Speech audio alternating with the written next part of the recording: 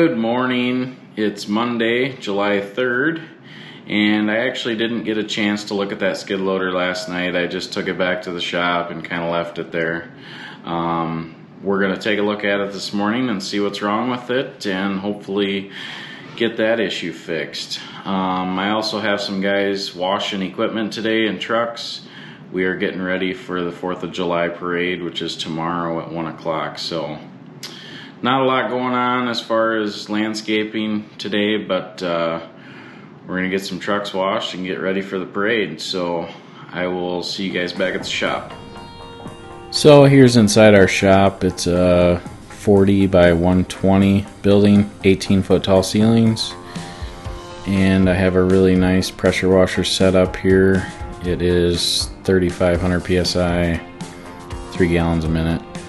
Gets super hot so, if you ever want to purchase a pressure washer, get a hot one. They work 10 times better. You'll use half the amount of soap. They work really good. So, if we got trucks, equipment that's really dirty, I usually have the guys wash it outside. We try to keep the shop pretty tidy in here.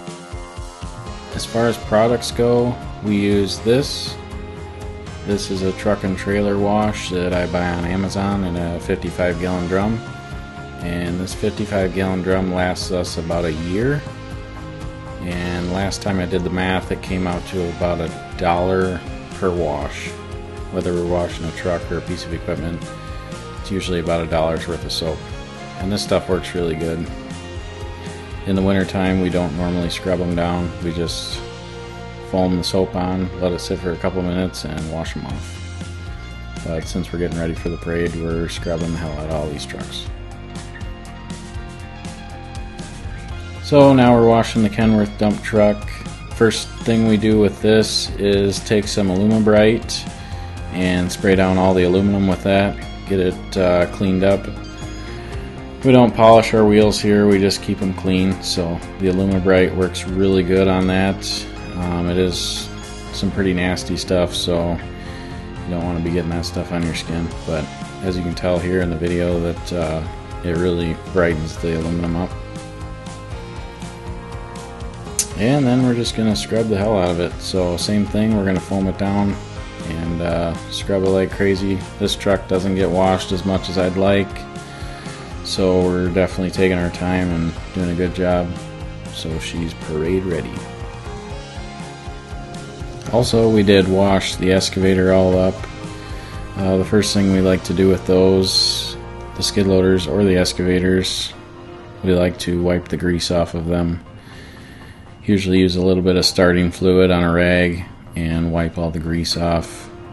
If you do not do that, the pressure washer sprays the grease off and then it ends up on the walls or on the floor. It drives me crazy.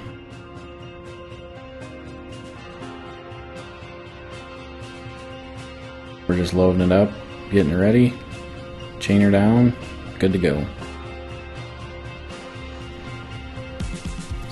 So this shop's been up for about three and a half, four years now, and as you can tell, I'm pretty picky on keeping it clean and organized. So usually after we get done washing equipment, I make the guys squeegee the floor, nice and tidy, looks nice.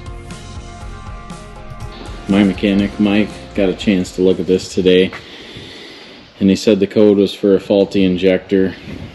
So probably do fuel filters and a full maintenance on it but uh, gonna have to find some injectors. So I called John Deere our dealer close by and uh,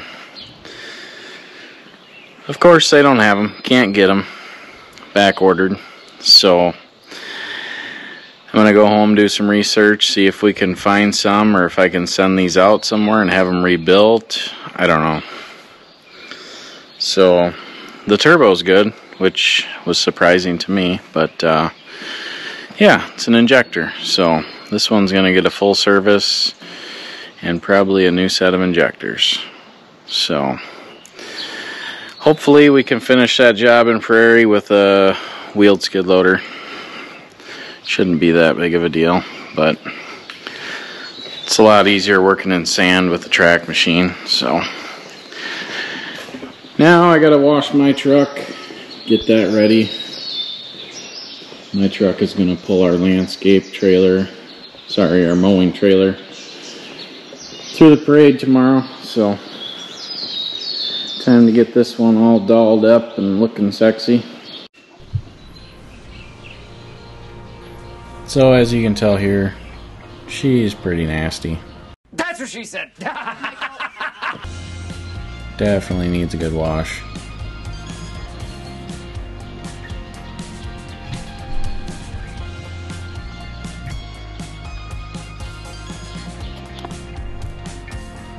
So this is the foam cannon I like to use. I like to use the one on the garden hose. It's just a little bit easier than using the one on the pressure washer.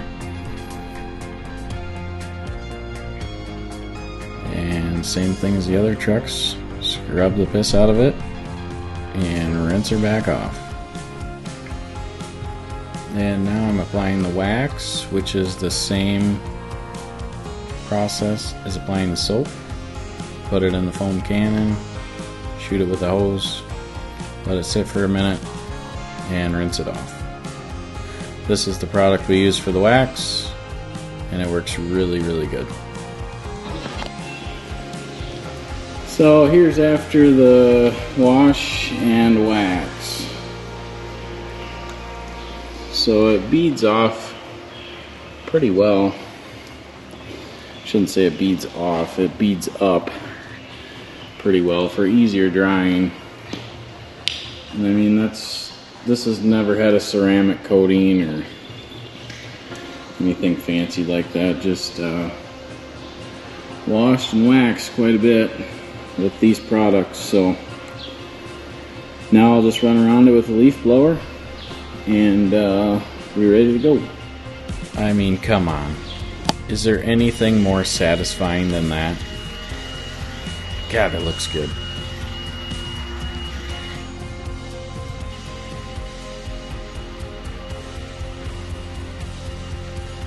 Alright, got the old girl all washed up. Looking pretty good. It could use a good clay bar and uh, good wax, but yeah, it cleans up pretty good. This truck's got about 150,000 miles on it It's plowed snow for three seasons. So, yeah, it's about as clean as you're gonna find one for that many miles and a plow truck. So, kind of my baby. I was gonna get a new one, and then I priced them out, and uh, thought that was pretty ridiculous. Basically a hundred grand now. So, when I bought this one, it was 62. This is a 19, so I don't know. I might just keep this one and run the wheels off it. Say screw buying a new one for a while. I'm gonna close up shop for the day. Go get something to eat. Probably call it a day. Actually, now that I think about it, I gotta go check on my freeze pop situation. I'll show you that in a minute.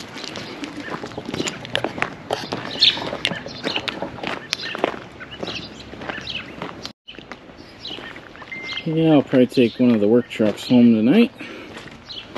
This one looks good.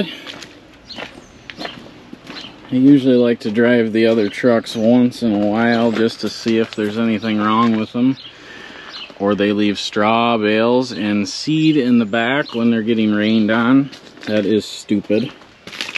Ugh. Doesn't matter how many times I tell them to clean these trucks out. They never do. You know, and then nobody will see shit like this. It will not get fixed until I say something. Drives me nuts. Got the world's strongest rubber hose here. Alright. Put that on the list to fix it.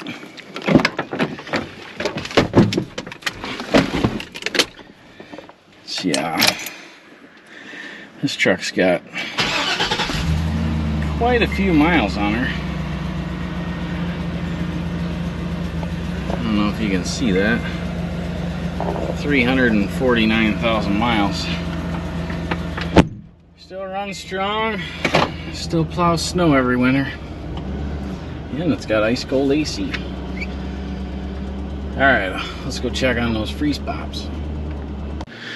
We got 1,500 freezies pass out in the parade tomorrow. And not all of them are frozen yet. So, kind of getting a little concerning. Got some like that. And we got some that are completely froze, so hopefully tomorrow got tomorrow till about noon, so hopefully they'll all be frozen. If not, then guess we're handing out juice packs. I don't know. So, well, I'll talk to you guys in the morning when we start getting ready for the parade. See ya. So we all met up at the office and uh, kind of made a game plan, and we all convoyed down to Boscobel to get lined up for the parade.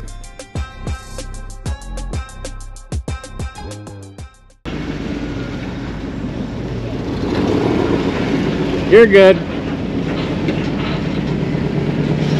No. Other way.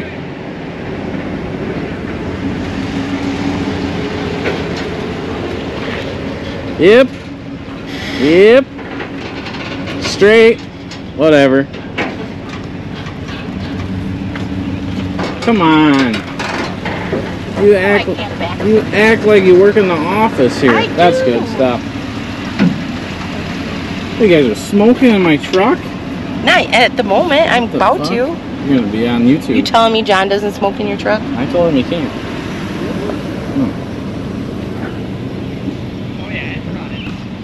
Oh, loader. Yeah. Oh. Just park down there. Where's this going? Probably J and J. Your truck? No, the, Oh, on the on the forks. oh, Go help him unload that mini loader. okay. Get the brakes on. Mike, you want to grab those three flags in the trailer on the mower? We'll get those put out. I set them on the zero turn in the front. So you got to park right there or what? Oh.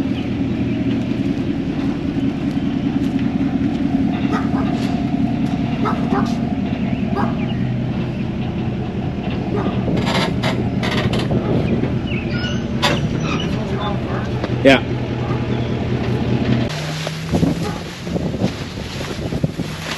What do you think of all that power, John? I like it. Yeah. Megan said you're gonna buy one? Uh, I need to test drive this one to kind of see it back. Okay. Do you think we can uh, borrow it for our vacation? No, 'cause No. I want. Uh, it's a no for me, dog. I wanted to buy it, and then he said he didn't want to No, sell. it, No, I so. didn't say buy it. I said Well, borrow if, it. if I was gonna buy it, why would he? And I don't have it. Why would he let you take it all the way to Tennessee? John, these can go on the back window of this truck. It's called a test drive. That that's it's a not really a test. long test That's not a drive. test drive. That's a joyride. Well, test drive, joyride. It's it's about the same. No, not even close. Everybody's fighting over my truck. Alright. Uh, I want one on the excavator boom. Let's go see what you think. And then let's try to figure out how to tech.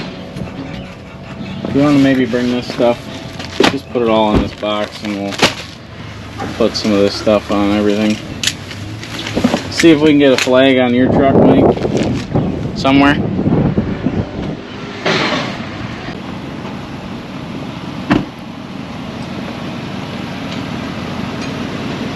Oh, your kind of park's kind of crooked there. Ah, shut up. It's alright. I'm a girl. We'll leave you in the office. I know that I'm supposed to go the opposite, but in my brain it doesn't work like that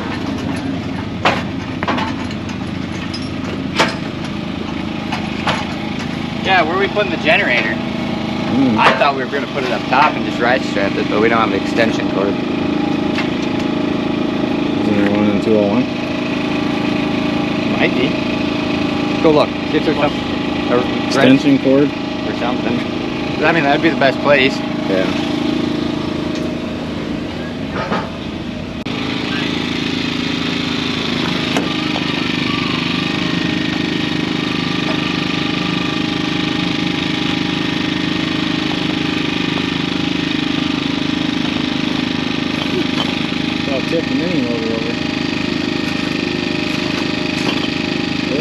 for a generator on there.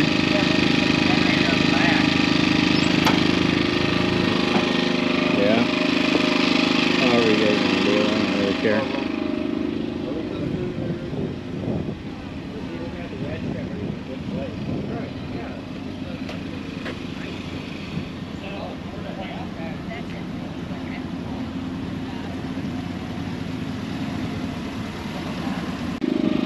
I don't know. I feel like that should. That seems sketch. What do you mean? Do they want their freezies cold or not? Yeah, well, they gotta be cold. Yeah. But I mean, you, yeah. My idea was up there. Who's free? We're free. Who's freezer? Derek's. Fucking Chuck and Derek smashed it all up last year. Put one up here too. You want another generator? No, Oh, another ratchet? another zip tie. Zip tie. Zip Or ratchet strap. That's a big ass zip tie. They make them that big. I don't think it's going anywhere back.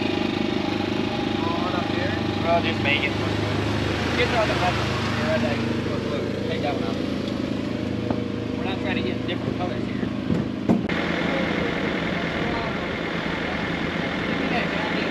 Where's that zip tie?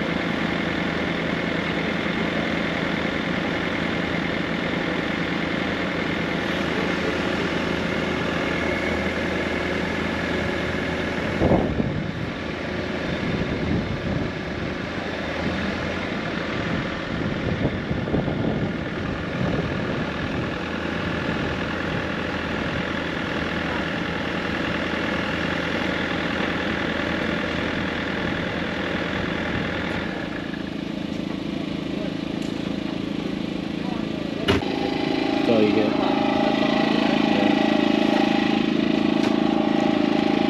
Well, is there zip ties in 201? I don't know. We didn't check yet.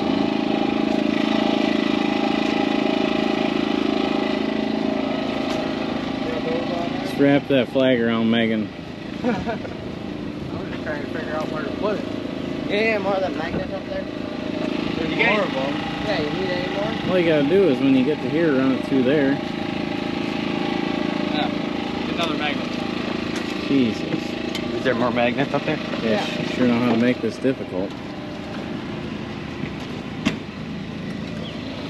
Is the freezer working?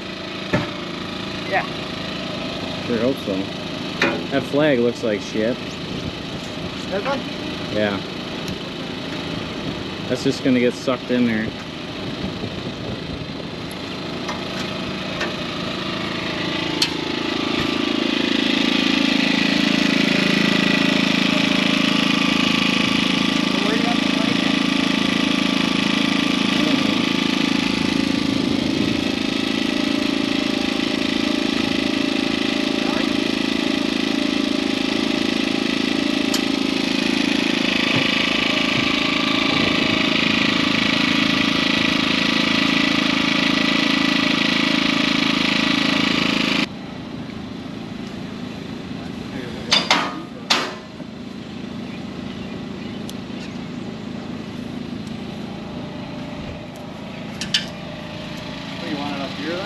You guys pass out these freezes, you gotta count them, so don't lose count, okay? We actually have to count them? Yeah, Right. I'm never good at school. I'm just kidding. There's like 1,500 in there, Alright. and some of them aren't ripped apart. So, you know, if you see a family of three or four kids, then just hand them, you know, you guys ain't gonna be out there ripping freezes all day.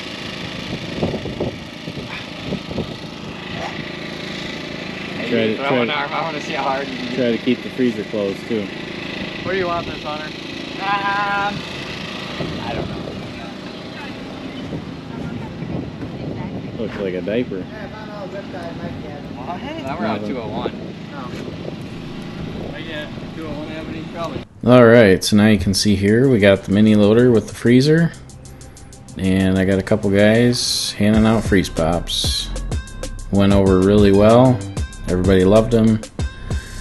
We were the only people with four vehicles in the parade. So that definitely gets some attention. But uh, we had a lot of compliments and uh, it seemed like a great turnout.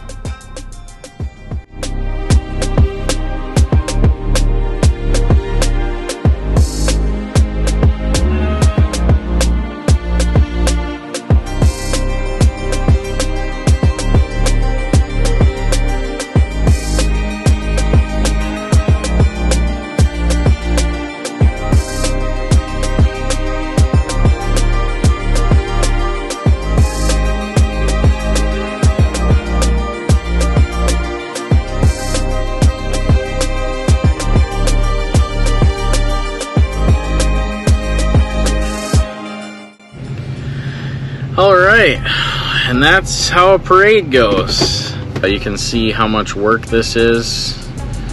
I mean, in this short little video, it doesn't really show, but uh, it's a lot of work to get ready for parades and to do them. But uh, I think it pays off.